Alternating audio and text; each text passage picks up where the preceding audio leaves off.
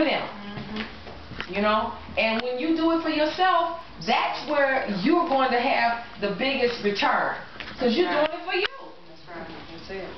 You know, it, it, we we sometimes have to forgive ourselves for even making mistakes in our past. Why didn't I know better? Why did I see that? Why did I do that? You know, that's another. You can put that paper towel straight in there with the rest of that. Okay. And that's part of the forgiveness too.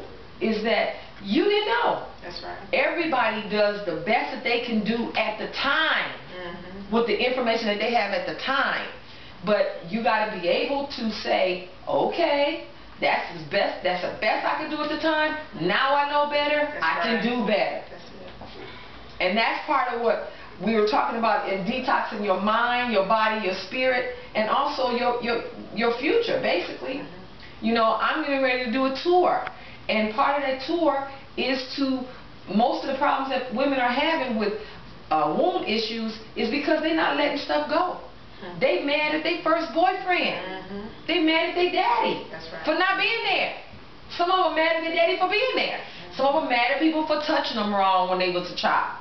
You know, it's it's so much stuff out there. I hear it all. You know, but when you hear all of these things, okay, now you grown. What we gonna do? We gonna stand with that, or we gonna stand in a new power? You. You gotta stand in a new power. You know?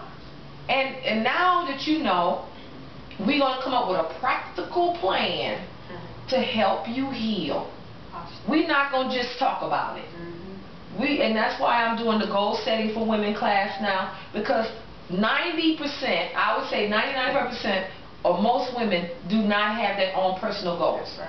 Their goals are their husband's goals, their kids' goals, it's every their jobs goals, their church's goals. They if you ask them what they want to do, they're gonna start pulling out other people's stuff. Mhm. They don't know.